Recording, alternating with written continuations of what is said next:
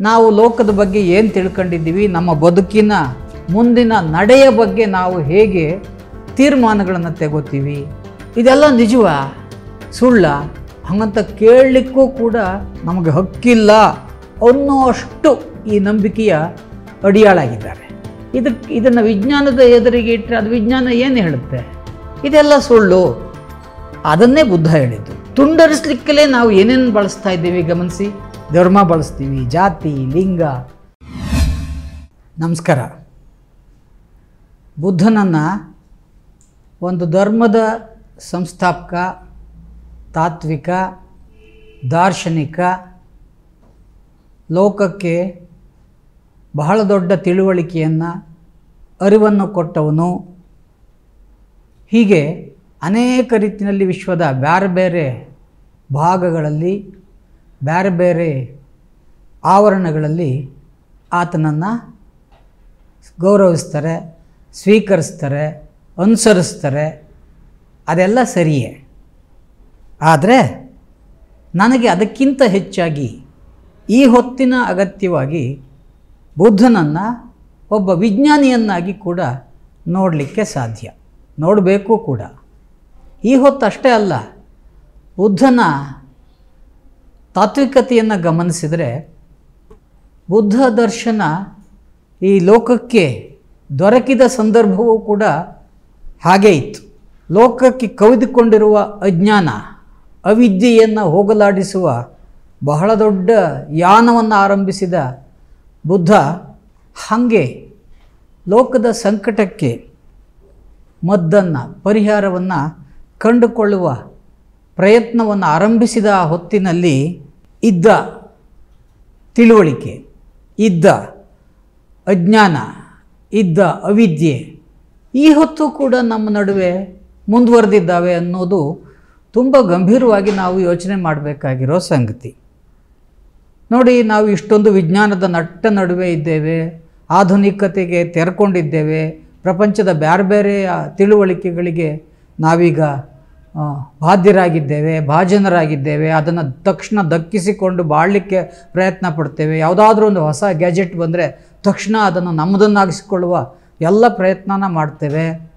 ವಿಜ್ಞಾನದ ಯಾವ ಸವಲತ್ತನ್ನು ನಾವು ಬಿಡಲಿಕ್ಕೆ ಸಿದ್ಧ ಇಲ್ಲ. ಇದೆಲ್ಲ ಸರಿಯೇ. ಆದರೆ ಇಷ್ಟೆಲ್ಲ ವಿಜ್ಞಾನದ ನಟ್ಟ ನಡುವೆಯೇ ಇರುವಂಥ ನಾವು ಯಾವ ನಂಬಿಕೆಗಳನ್ನು ಇಟ್ಟು ಬದುಕ್ತಾ ಇದ್ದೇವೆ.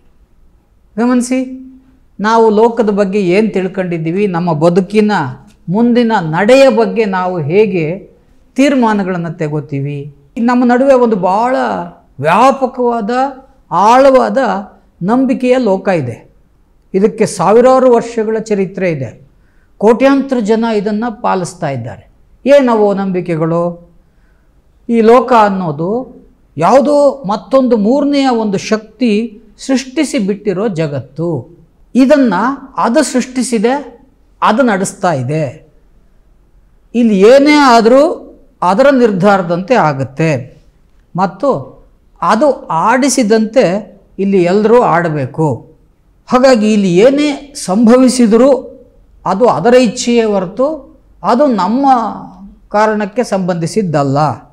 ನಾವೇನಿದ್ರೂ ಕರ್ಮವನ್ನು ಮಾಡಲಿಕ್ಕಷ್ಟೇ ನಮಗೆ ಅಧಿಕಾರ ಅದರ ಫಲದ ಮೇಲೆ ನಮಗೆ ನಿಯಂತ್ರಣವಾಗಲಿ, ಅಧಿಕಾರವಾಗಲಿ ಇಲ್ಲ. ಇಲ್ಲಿ ಏನಾಗಬೇಕೋ ಅದನ್ನೆಲ್ಲ ಅವನೇ ಅಥವಾ ಅದು ಮೊದಲೇ ನಿರ್ಧರಿಸಿಬಿಟ್ಟಿದೆ. ನಮ್ಮ ಹಣೆ ಬರ ಕೂಡ ಈಗಾಗಲೇ ನಿರ್ಧರಿತವಾಗಿದೆ ಅಂತ ಇದನ್ನೆಲ್ಲ ನಮಗೆ ನಂಬಿಸಲಾಗಿದೆ. ಇದನ್ನು ಬಹುಪಾಲು ಪ್ರಶ್ನಿಸದೆ ಬಹಳ ದೊಡ್ಡ ಸಮೂಹ ಬದುಕ್ತಾ ಇದೆ.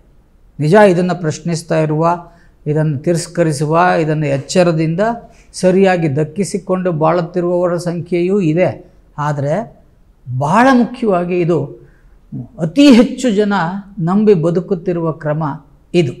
ಇದೆಲ್ಲ ನಿಜವಾ? ಸುಳ್ಳ? ಹಾಗಂತ ಕೇಳಲಿಕ್ಕೂ ಕೂಡ ನಮಗೆ ಹಕ್ಕಿಲ್ಲ ಅನ್ನುವಷ್ಟು ಈ ನಂಬಿಕೆಯ ಅಡಿಯಾಳಾಗಿದ್ದಾರೆ. ಇದು ಈ ಹೊತ್ತಿನ ಸಮಸ್ಯೆ ಅಷ್ಟೇ ಅಲ್ಲ, ಆ ಹೊತ್ತಿಂದು ಅಷ್ಟೇ. ಆ ಹೊತ್ತಿನ ಸಮಸ್ಯೆ ಅಷ್ಟೇ ಅಲ್ಲ, ಈ ಹೊತ್ತು ಕೂಡ ಅದೇ ಸಮಸ್ಯೆ. ಬುದ್ಧ ಎದುರಾಗಿದ್ದು ಅದನ್ನೇ. ಹಾಗಾದರೆ ಈ ನಿಲುವುಗಳನ್ನು ನಂಬಿ ಸಾವಿರಾರು ವರ್ಷಗಳಿಂದ ನೂರಾರು ಕೋಟಿ ಜನ ಬದುಕ್ತಿದ್ದಾರಲ್ಲ, ಅದೆಲ್ಲ ಸುಳ್ಳ? ನೋಡಿ, ಯಾವುದಾದ್ರೂ ಒಂದು ಸುಳ್ಳನ್ನು ಸಾವಿರಾರು ವರ್ಷದಿಂದ ನೂರಾರು ಕೋಟಿ ಜನ ಬದುಕ್ತಿದ್ದಾರೆ ಎಂದು ಮಾತ್ರಕ್ಕೆ ಅದು ನಿಜ ಆಗಲ್ಲ. ಸುಳ್ಳು ಸುಳ್ಳೆ, ಕಲ್ಪನೆ ಕಲ್ಪನೆಯೇ ಪೊಳ್ಳು ಪೊಳ್ಳೆ. ಆದರೂ ಆ ಪೊಳ್ಳನ್ನು ಅದೆಷ್ಟರ ಮಟ್ಟಿಗೆ ನಮಗೆ ದೃಢವಾಗಿ ನಂಬಿಸಿದ್ದಾರೆ ಅನ್ನೋದು ಈ ಹೊತ್ತಿನ ಸಮಸ್ಯೆ ಕೂಡ ಹೌದು. ಬುದ್ಧ ಪ್ರಶ್ನಿಸಿದ್ದು ಇದಕ್ಕೆ ಇದೆಲ್ಲ ಸುಳ್ಳು ಅಂತ. ಇದು ನಿಜವೇ ಅಂತ ವಿಜ್ಞಾನನ ಕೇಳಿ ನೋಡಿ, ಈಗ ಹೇಳಿದ್ನಲ್ಲ ಒಂದು ಪಟ್ಟಿ. ಇದಕ್ಕೆ ಇದನ್ನು ವಿಜ್ಞಾನದ ಎದುರಿಗೆ ಇಟ್ಟರೆ ಅದು ವಿಜ್ಞಾನ ಏನು ಹೇಳುತ್ತೆ? ಇದೆಲ್ಲ ಸುಳ್ಳು. ಅದನ್ನೇ ಬುದ್ಧ ಹೇಳಿದ್ದು. ಹಾಗಾಗಿ ಮೊದಲು ನಾವು ಬದುಕ್ತಾ ಇರುವ ನಮ್ಮ ಸುತ್ತಲಿನ ಲೋಕ ಏನು? ನಾವೇನು? ನಮ್ಮ ಮತ್ತು ಲೋಕದ ನಡುವಿನ ಸಂಬಂಧ ಏನು? ಅಂತ ಸರಿಯಾಗಿ ಸರಿಯಾಗಿ ಅಂತಂದರೆ ಅದು ಹೆಂಗಿದೆಯೋ ಹಾಗೆ ತಿಳ್ಕೊಂಡ್ರೆ ಮಾತ್ರ ನಮ್ಮ ನಡೆ ಮತ್ತು ತಪ್ಪಾಗಿ ತಿಳ್ಕೊಂಡು ನಡ್ಕೊಳ್ತಿರೋದ್ರಿಂದ ಆಗ್ತಿರೋ ಕಷ್ಟನ ನಿವಾರಿಸ್ಕೋಬಹುದು ಅಂತ ಬುದ್ಧ ಕಂಡುಕೊಂಡ. ಸೊ ನಾವು ಅನುಭವಿಸ್ತಾ ಇರೋ ಈ ಸಂಕಟಕ್ಕೆ ದುಃಖಕ್ಕೆ, ಸಂಘರ್ಷಕ್ಕೆ, ಕಷ್ಟಕ್ಕೆ ಕಾರಣ ನಾವು ಲೋಕನ ತಪ್ಪಾಗಿ ಅರ್ಥೈಸಿಕೊಂಡಿದ್ದೇವೆ. ಅಷ್ಟೇ ಅಲ್ಲ, ಆ ತಪ್ಪಾಗಿ ಅರ್ಥೈಸಿಕೊಂಡಿರುವ ಲೋಕದ ಜೊತೆಗೆ ನಾವು ಬಾಳ್ತಾ ಇರೋದು ಇದೆಯಲ್ಲ ನಮ್ಮ ಪ್ರತಿ ನಡೆಯು ತಪ್ಪಾಗಿ ಗ್ರಹಿಸಿರುವ ಲೋಕದ ಜೊತೆಗೆ ನಾವು ತಪ್ಪಾಗಿ ನಡ್ಕೋತಾ ಇದ್ದೇವೆ. ಹಾಗಾಗಿ ತಪ್ಪಾಗಿ ಗ್ರಹಿಸಿದ್ದು ಮತ್ತು ತಪ್ಪಾಗಿ ನಡ್ಕೊಳ್ಳೋ ಕಾರಣಕ್ಕೆ ನಾವು ಕಷ್ಟಕ್ಕೆ, ಸಂಘರ್ಷಕ್ಕೆ ಸಿಲುಕಿದ್ದೇವೆ. ಹಾಗಾಗಿ ಈ ಕಷ್ಟನ ಪರಿಹರಿಸ್ಕೊಳ್ಳಿಕ್ಕೆ ನಾವು ಮಾಡಬೇಕಾದ ಮೊದಲ ಕೆಲಸ ಏನು ಅಂದರೆ ಲೋಕನ ಅದು ಇರೋ ಹಾಗೆ ಅದು ಹೆಂಗಿದೆಯೋ ಹಾಗೆ ಅರ್ಥಕೋಬೇಕು ನಮ್ಮ ನಡವಳಿಕೆ ಆ ಮೂಲಕ ಸರಿಯಾಗಬೇಕು. ನಾವು ಸರಿಯಾಗಿ ನಡ್ಕೋಬೇಕು ಅಂತ ಅಂದ್ಕೊಂಬಿಟ್ರೆ ಆಗ್ಬಿಡಲ್ಲ ಅದು. ಸರಿಯಾಗಿ ನಡ್ಕೊಳ್ಳಿಕ್ಕೆ ನಾವು ಯಾವುದರ ಜೊತೆಗೆ ನಡ್ಕೋತಿದ್ದೀವೋ ಅದನ್ನು ಸರಿಯಾಗಿ ಅರ್ಥೈಸ್ಕೋಬೇಕು. ಆ ಅರ್ಥೈಸಿಕೊಂಡ ಮೇಲೆ ಅದರ ಜೊತೆಗಿನ ನಮ್ಮ ನಡವಳಿಕೆ ಅದಕ್ಕೆ ತಕ್ಕನಾಗಿ ಸರಿಯಾಗಿ ಇರುತ್ತೆ. ಹಾಗಾಗಿ ಲೋಕನ ಸರಿಯಾಗಿ ಅರ್ಥೈಸಿಕೊಟ್ಟ ಮೊಟ್ಟ ಮೊದಲ ವಿಜ್ಞಾನಿ ಬುದ್ಧ ಲೋಕವನ್ನು ಸರಿಯಾಗಿ ಈಗ ಭೂಮಿ ಚಪ್ಪಟೆಯಾಗಿದೆ ಅಂತ ಎಷ್ಟೋ ಸಾವಿರಾರು ವರ್ಷಗಳ ಕಾಲ ಅದೆಷ್ಟೋ ಕೋಟಿ ಜನ ನಂಬ್ಕೊಂಡಿದ್ರು. ನಂಬ್ಕೊಂಡಿದ್ರು ಒಂದು ಮಾತ್ರಕ್ಕೆ ಭೂಮಿ ಚಪ್ಪಟೆಯಾಗಿರಲಿಲ್ಲ. ಒಬ್ಬ ಗೆಲಿಯೋ ಥರದವನೊಬ್ಬ ಬಂದು, ಭೂಮಿ ದುಂಡಗಿದೆ ಅಂತ ಹೇಳ್ದ. ಹಾಗಾದರೆ ನಾವು ಯಾರನ್ನು ನಂಬಬೇಕು? ಸಾವಿರಾರು ವರ್ಷ ಬದುಕೊಂಡು ನಂಬ್ಕೊಂಡು ಬಂದಿರೋ ನೂರಾರು ಕೋಟಿ ಜನ ನಂಬ್ಕೊಂಡಿರೋ ಸುಳ್ಳನ್ನು ಒಬ್ಬ ಸತ್ಯ ಹೇಳ್ತಿರೋ ಒಬ್ಬ ವಿಜ್ಞಾನಿನ. ಹಾಗಾಗಿ ಬುದ್ಧ ಹಾಗೆ ಸತ್ಯವನ್ನು ತೋರಿಸಿಕೊಟ್ಟ ವಿಜ್ಞಾನಿ. ಅಷ್ಟೇ ಅಲ್ಲ, ಈ ಸತ್ಯದ ಮೂಲಕ ಲೋಕದ ಬಹಳ ದೊಡ್ಡ ಸಂಕಟಕ್ಕೆ ಪರಿಹಾರನ ಕೊಟ್ಟ ಹಾಗಾಗಿ ಅವನೊಬ್ಬ ವೈದ್ಯ ಗುರು ಕೂಡ ಹೌದು. ವೈದ್ಯನ ಕೆಲಸ ಲೋಕದ ಕಷ್ಟಕ್ಕೆ, ಜನರ ಕಷ್ಟಕ್ಕೆ, ಸಂಕಟಕ್ಕೆ ಪರಿಹಾರ ಕೊಡೋದು. ಅದು ಬರೀ ದೈಹಿಕ ದೇಹದ ಸಂಕಟಕ್ಕೆ ಅಷ್ಟೇ ಅಲ್ಲ, ಲೋಕದ ನಡವಳಿಕೆಯ ಸಂಕಟಕ್ಕೆ ಕೂಡ ಬುದ್ಧ ಪರಿಹಾರ ದೊರಕಿಸಿಕೊಟ್ಟವನು. ಹಾಗಾಗಿ ಬೌದ್ಧ ತಾತ್ವಿಕತೆ ಅನ್ನುವುದು ಒಂದು ವಿಜ್ಞಾನವೂ ಹೌದು, ಅದು ವೈದ್ಯವೂ ಕೂಡ ಹೌದು. ಹಾಗಾಗಿ ಭೂ ಈ ಈ ಲೋಕವನ್ನು ಮೊದಲನೇದಾಗಿ ಬುದ್ಧ ಹೇಳಿ ತಿಳಿಸಿಕೊಟ್ಟದ್ದು, ವಿವರಿಸಿಕೊಟ್ಟದ್ದು. ಸರಿಯಾಗಿ ವಿವರಿಸಿಕೊಟ್ಟ ಅಂತ ನಾನು ಹೇಳಿದೆ. ಏನದು? ಸರಿಯಾಗಿ ವಿವರಿಸಿಕೊಟ್ಟದ್ದು ಏನದು? ಅಂದರೆ ಆವರೆಗೆ ಬುದ್ಧ ಇದನ್ನು ತಿಳಿಸಿಕೊಡುವವರೆಗೆ, ಮತ್ತು ಈಗಲೂ ಕೂಡ ನಾವು ಹಾಗೆ ತಪ್ಪಾಗಿ ಅರ್ಥೈಸಿಕೊಂಡೇ ನಡ್ಕೋತೇವೆ ಅತಿ ಹೆಚ್ಚು. ಏನದು ಅಂದರೆ, ಈ ಲೋಕ ಆಗಿ ಇದೆ ಅಂತ. ಬಹುಪಾಲು ಬೌದ್ಧ ಧರ್ಮವನ್ನು ಬಿಟ್ಟರೆ ಬೌದ್ಧ ದರ್ಶನವನ್ನು ಬಿಟ್ಟರೆ ಉಳಿದ ಎಲ್ಲ ಧರ್ಮಗಳು ಒಂದೋ ಲೋಕನ ಇರುವ ಆಗಿ ಇರುವ ಲೋಕ ಅಂತ ವಿವರಿಸ್ಕೊಳ್ತವೆ. ಇಲ್ಲ ಹ್ಞೂ ಇಲ್ಲಿರೋದೆಲ್ಲ ನಿಜ ಅಲ್ಲ. ನಿಜವಾದ ಮೇಲಿದೆ. ಅದರ ಪ್ರತಿಕೃತಿ ಇದೆಲ್ಲ ಭ್ರಮೆ. ವಾಸ್ತವ ಅಲ್ಲಿದೆ ಅಂತ ಮೇಲಕ್ಕೆ ಕೈ ತೋರಿಸೋದು ಇದೆಯಲ್ಲ ಒಂದು ಇದೆ ಅಂತಂದರೆ ಒಂದು ಇಲ್ಲವೇ ಇಲ್ಲ ಅಂತ ಹೇಳೋದನ್ನು ಬಿಟ್ಟು ಬುದ್ಧ ಮೊಟ್ಟ ಮೊದಲಿಗೆ ಇಲ್ಲ. ಲೋಕನ ಹಾಗೆ ವಿವರಿಸಲಿಕ್ಕೆ ಬರಲ್ಲ. ಅದು ಇದೆ ಅನ್ನೋಕ್ಕೂ ಬರಲ್ಲ, ಇಲ್ಲ ಅನ್ನೋಕ್ಕೂ ಬರಲ್ಲ, ಸದಾ ಆಗ್ತಲೇ ಇದೆ ಅನ್ನೋದು ಸತ್ಯ. ಅದು ಒಂದು ನದಿಯ ಹಾಗೆ. ನಿರಂತರ ಬದಲಾಗ್ತಲೇ ಇರುವಂಥ ಒಂದು ಪ್ರವಾಹ. ಹಾಗಾಗಿ ಲೋಕವನ್ನು ಹಾಗೆ ನಿರಂತರವಾಗಿ ಹರಿಯುತ್ತಿರುವ ಒಂದು ಪ್ರವಾಹ ಅಂತ ಮಾತ್ರ ಭಾವಿಸಿದರೆ, ಗ್ರಹಿಸಿದರೆ ಮಾತ್ರ ಅದು ಸರಿಯಾದ ವಿವರಣೆ, ಅದರ ದೀರ್ಘವಾದ ವಿವರಣೆಯನ್ನು ನಾವು ಮುಂದೆ ಹೇಳ್ಬೋದು. ಇಷ್ಟು ಮಾತ್ರ ಸದ್ಯಕ್ಕೆ ಒಬ್ಬ ವಿಜ್ಞಾನಿಯಾಗಿ, ಒಬ್ಬ ಪ್ರಜಾಸತ್ತಾವಾದಿಯಾಗಿ ಹೀಗೆ ಲೋಕವನ್ನು ಸದಾ ಆಗುತ್ತಲೇ ಇರುವ ಬಹಳ ಮುಖ್ಯವಾಗಿ ಮೂರು ಅಂಶಗಳಿದ್ದಾವೆ. ಲೋಕದ ಈ ಪ್ರವಾಹವನ್ನು ಸೃಷ್ಟಿಸಿ ಹರಿಸುತ್ತಿರುವ ನಿರಂತರ ಈ ಚಲನಶೀಲವಾದ ಜಗತ್ತಿನ ಲಕ್ಷಣಗಳನ್ನಾಗಿ ಬುದ್ಧ ಈ ಪ್ರವಾಹದ ಲಕ್ಷಣಗಳನ್ನಾಗಿ ಮೊದಲನೇದಾಗಿ ಇದೊಂದು ಸಂಬಂಧದ ಜಗತ್ತು.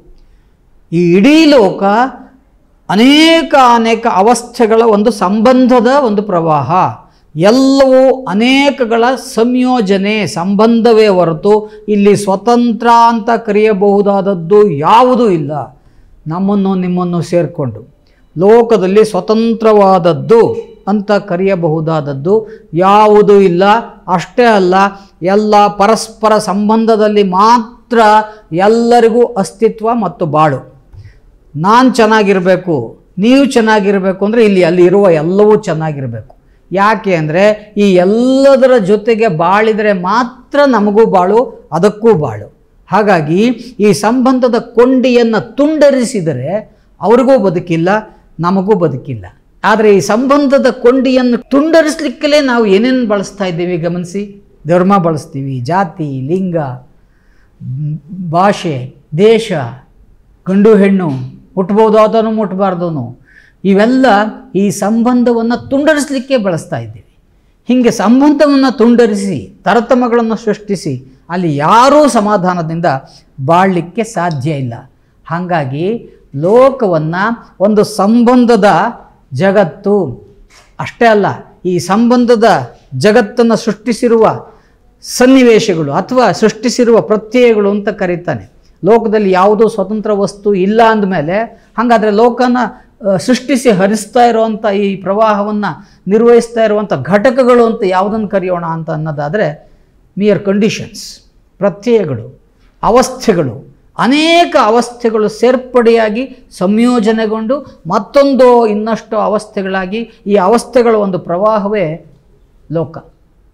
ಇದು ಅರ್ಥೈಸಿಕೊಳ್ಳಿಕ್ಕೆ ಸ್ವಲ್ಪ ಕಷ್ಟ. ನಾವೆಲ್ಲವನ್ನು ಬಿಡಿ ಬಿಡಿಯಾಗಿ ಎಲ್ಲವನ್ನು ಸ್ವತಂತ್ರವಾಗಿ, ಎಲ್ಲವನ್ನು ಬೇರೆ ಬೇರೆ, ಎಲ್ಲವನ್ನು ಬೇರೆ ಬೇರೆಯಾಗಿ ಕಂಡು ಆಮೇಲೆ ಒಟ್ಟು ಮಾಡಲಿಕ್ಕೆ ಹೊರಡುವಂಥ ಜನ. ಹಾಗಾಗಿ ಹೀಗೆ ಎಲ್ಲವನ್ನು ಬೇರೆ ಬೇರೆಯನ್ನಾಗಿ ಕಾಣುವುದನ್ನು ಬಿಟ್ಟು ಎಲ್ಲವನ್ನು ಒಂದು ಪ್ರವಾಹದ ಒಂದಾಗಿ ಅಂತ ಕರೆಯೋದು ಕೂಡ ಅಷ್ಟೇ ಸಮಸ್ಯೆ ಇದ್ದ ಇರುವಂಥದ್ದು. ಯಾಕೆ ಅಂದರೆ ಅದು ಒಂದೂ ಅಲ್ಲ, ಎರಡೂ ಅಲ್ಲ. ಅದೊಂದು ಸೊನ್ನೆ. ನಿರಂತರವಾಗಿ ಬದಲಾಗ್ತಾ ಇರೋದ್ರಿಂದ ಅದನ್ನ ಒಂದು ಅಂತ ಕರೆಯೋಕ್ಕಾಗಲ್ಲ, ಎರಡು ಅಂತ ಕರೀಲಿಕ್ಕಾಗಲ್ಲ. ಸಂಖ್ಯೆಯಿಂದ ಸೂಚಿಸಲಿಕ್ಕೆ ಸಾಧ್ಯ ಇಲ್ಲ.